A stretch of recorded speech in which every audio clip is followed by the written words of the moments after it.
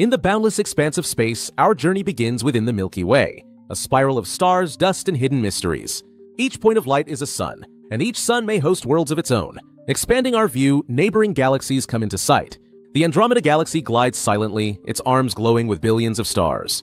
The Triangulum Galaxy reveals clusters of newborn suns, swirling in currents of cosmic dust. As our gaze widens, we find galaxies grouped together.